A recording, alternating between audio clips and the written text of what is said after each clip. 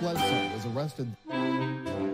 Patrick Montgomery was in court. Jonathan Munafo will stay in federal custody. No, I don't take responsibility at all. Everyone, welcome to the show. So, 48 year old Florida Oath Keeper and former Green Beret Jeremy Brown has been sentenced to prison. But this isn't about what he did on January 6th. You guys might recall um, when the FBI searched his home in relation to his actions at the Capitol, they found illegal weapons, they found hand grenades, classified documents.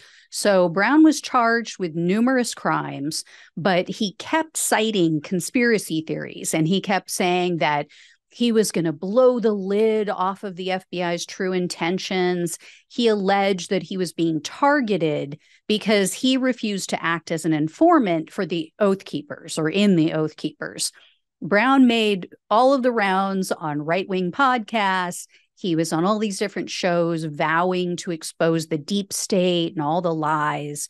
Well, he never did that. And in December of 2022, he went to trial. He was convicted of six crimes, and the sentencing guidelines call for a term somewhere between 87 and 108 months. And the prosecutor argued that Brown should get the higher end because they claim that he lied to the jury. And the judge wasn't happy with him either. U.S. District Judge Susan Bucklew had presided over the case, and she said that although Brown's military service was exceptional, quote, you've absolutely accepted no responsibility for what you've done in this case, and you were defiant to the end.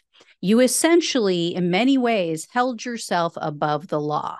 So, in the end, she sentenced Brown to seven years in prison for just this crime, or these crimes, I should say. And Brown has been in jail now for the past 17 months. So he will receive credit for time served, but he's still facing sentencing for four misdemeanors from the Capitol attack. He had a hearing in that case on March 31st, but he hasn't accepted a plea deal yet. There's no trial date scheduled. So I'm not really sure what's going on. I'm not sure of the timeline on that one. He may have been waiting to see what was going to happen with this case to determine, you know, should I just let it roll and, you know, go to trial on that too if I'm already going to prison. So, anyway, I'll let you guys know when there's movement in that case. But yeah, seven years for weapons that he claimed you know, he had every right to have. And um, he may have even taken them to the Capitol on January 6th, because remember, they were supposedly found in his RV that he drove to DC.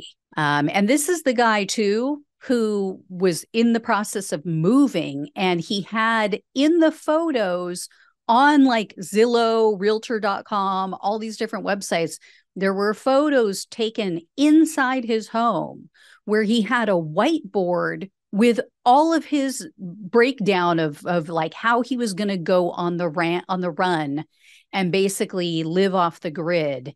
And it talked about weapons it talked about explosives i mean damning stuff. So anyway guys i will let you know as i said when i hear more about january 6th Thank you so much for watching and listening. Please like this video, share it with everyone you know. Please become a subscriber if you have not already. Um, if you can financially support the show, it really, really helps. Um, if you can become a monthly supporter, that is even better. Really helps to me to project out where the show is heading and uh, keep things moving along. So appreciate all of you. Love you all. Take care, and I'll talk with you soon.